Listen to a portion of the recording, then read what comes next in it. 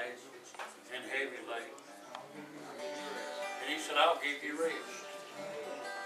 If you find rest, it's gonna be in Jesus. Yeah, it surely will. The cares of this life will bring you down.